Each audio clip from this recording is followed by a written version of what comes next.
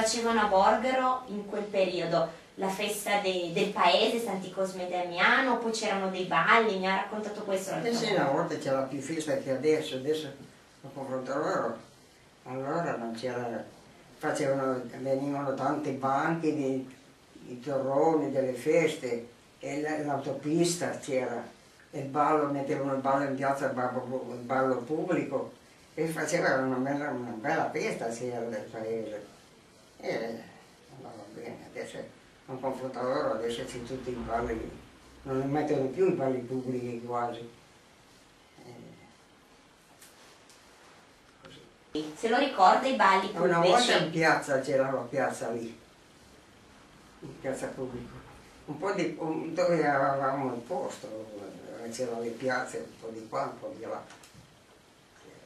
Uscivamo la sera, quando c'era la festa, con mia zia andavamo a vedere la, la festa, facevamo in giro con le compagne, con tutta la gente che conoscevo- ci conoscevano tutti.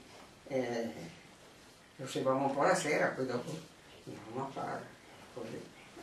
Pass- Passavano, passavamo le feste così.